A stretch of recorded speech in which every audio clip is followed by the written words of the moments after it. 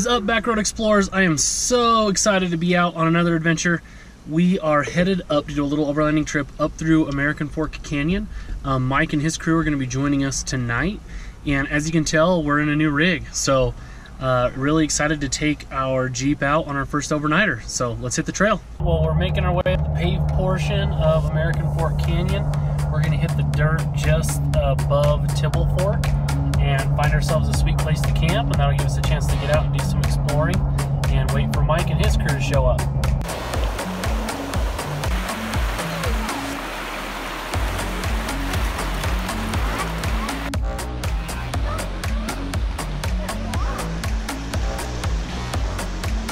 We stopped just above Tibble Fork and headed out on a little hike down to the lake with the boys.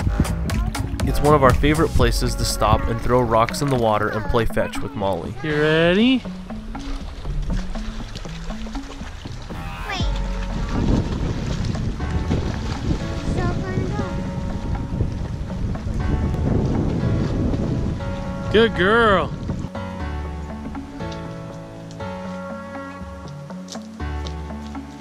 Due to the heavy traffic, we decided to move further up the canyon to a more secluded campsite.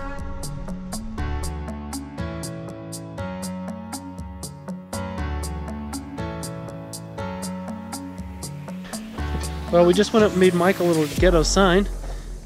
He should be able to find us just fine. I came up here a while ago and dropped a pin here to say this would be a good place to camp. So I gave him the GPS coordinates, so he should be fine. But just in case, yeah, to kill some time, we built a little sign for him. Do a little look at camp. It's beautiful up here. A couple of things we're planning on doing with the Jeep. We need to get some storage so I can take like, th these are just like my tools and my air compressor and stuff. I can permanently put them up on the roof rack so that I don't have to take them out of the Jeep when we need to make the bed down and things like that. And we need to get a different table because the current table that we use is a little bit too wide. So right now I've got the cooler and then the, you know, dry good foods and the water just over there on that tree. But overall we fit pretty well. I'm excited to see how we do tonight with the three of us sleeping in there.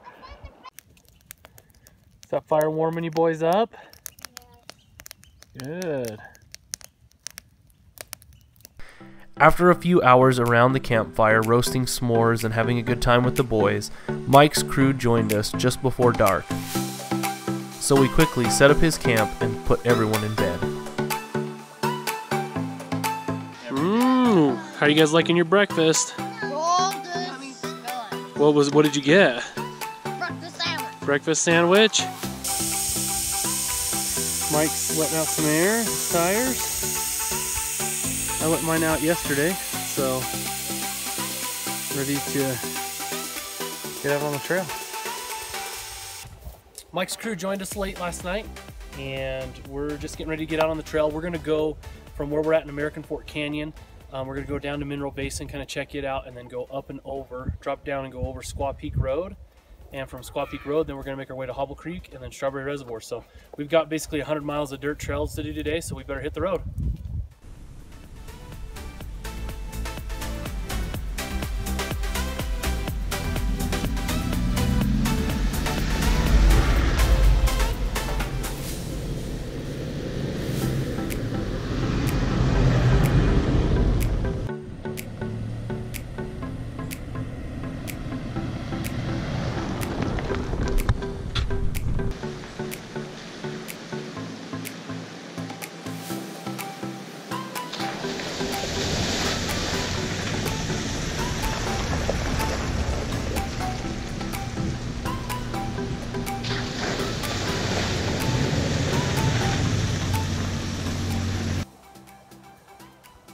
Expedition Utah officially supports this trail and does a cleanup on it multiple times a year.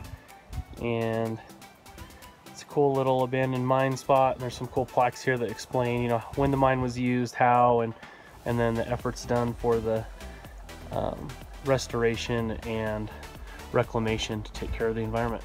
It's a pretty cool little spot.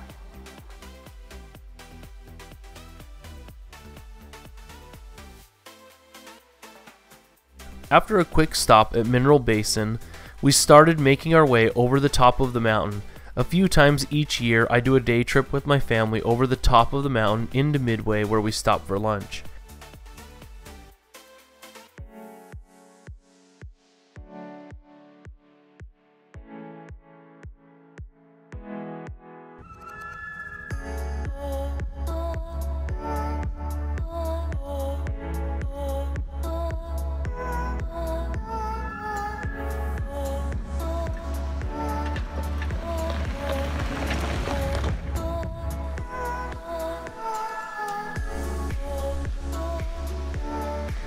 This trip is all about having a blast exploring trails close to home. I love American Fork Canyon and I live just a few miles from the mouth of the canyon. We wanted to spend a weekend in the mountains and get to know a few of our local trails better. Mike has never been up into this part of the canyon, so I wanted to take him on a few of my favorite trails.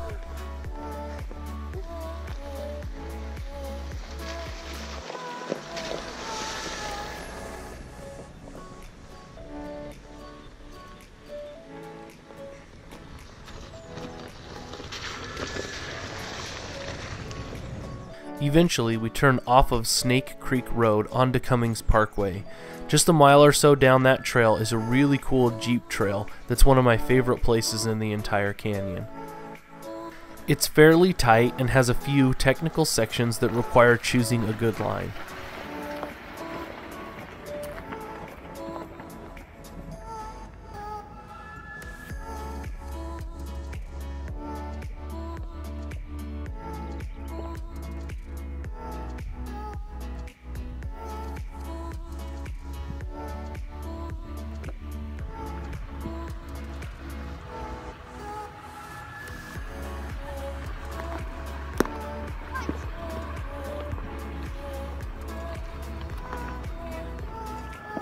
This was the first time I have asked the Jeep to do much, and it was fantastic. Overall, I really like the performance of the rig, and I'm really looking forward to a lot more adventures in it. Being back in a Jeep just feels right. I'll be putting together a video in the coming weeks talking about why I got a Jeep and why we chose this one.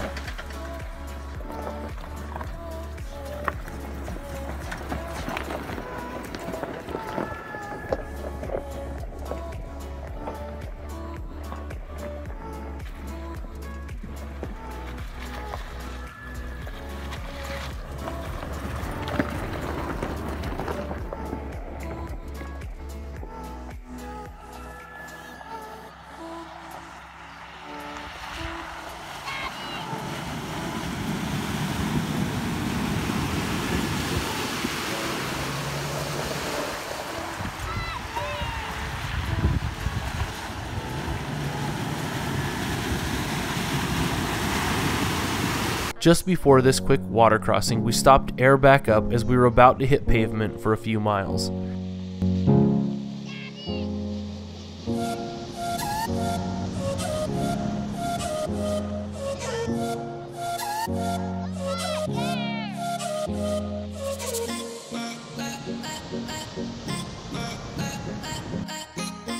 So we call a little audible and we're gonna take a little bit different way to get over to Squaw Peak. Just one of the nice views. But it's on pavement here for about 15, 16 miles or so and we'll be back on the dirt.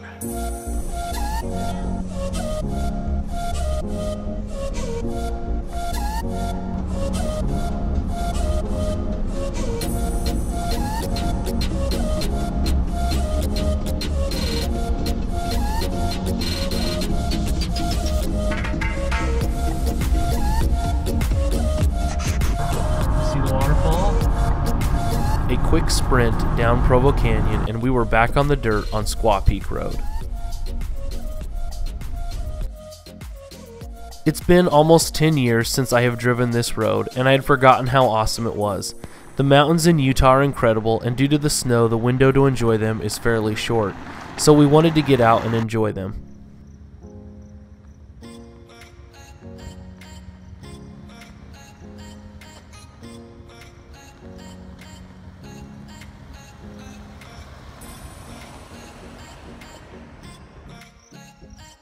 The first portion of the trail is all climbing until you reach a fairly flat trail that winds along the face of the mountain with an incredible view of the valley below. Stopped for a little lunch break and Jackson insisted we brought his chair out by the fire pit. He's gonna be disappointed when he finds out we're not staying here. But just uh, cooking up some lunch and gonna get back out on the trail. We're along Squaw Peak Road. We're gonna make our way over to Hobble Creek, and then from there we're gonna make our way up to Strawberry Reservoir if we've got time. So it's been great so far.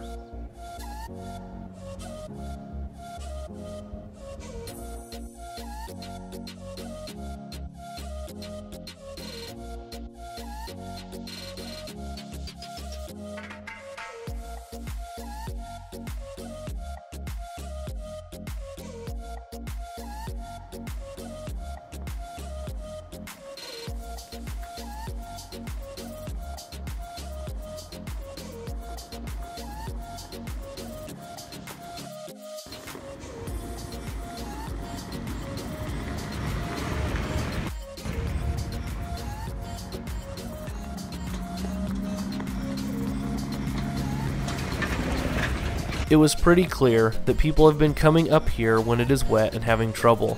There were large potholes that took up most of the trail in multiple places that were filled with sticks and logs from people getting stuck.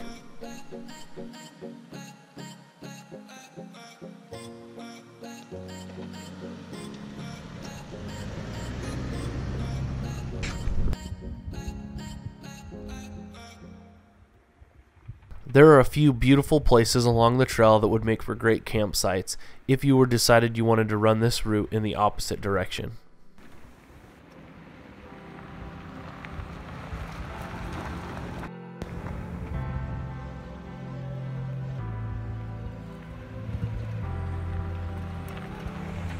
I feel very lucky that we have such incredible trails close by. I especially love this portion of the trail which offers an incredible view of the valley below. We could even see the windmills at the mouth of Spanish Fork Canyon which the boys loved.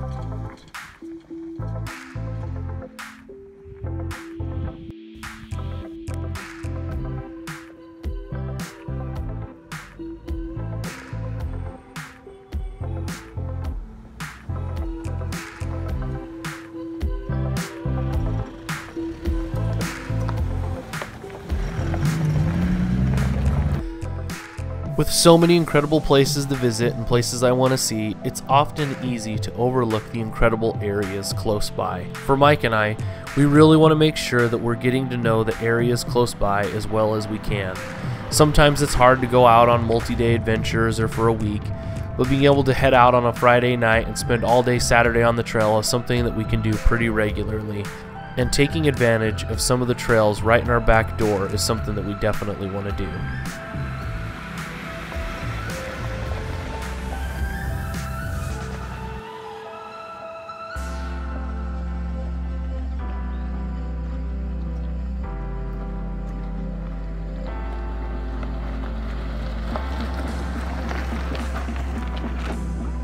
Just wrapping up our American Fork Canyon to Squaw Peak Overland trip. It's been a total blast.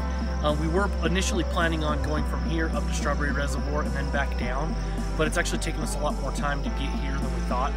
Squaw Peak Road has been so incredible. I've done it a couple times, but it's been a long time. The views are amazing. It's really beautiful, but it is has a lot of big, huge potholes and big rocks, and so it was really slow moving. So it's about it's almost six o'clock now, and we have a little ways to get home. So this has been a really fun trip. If you enjoyed this video, please subscribe to us on YouTube. Also check us out on Instagram at Backroad Exploration. Thanks for watching.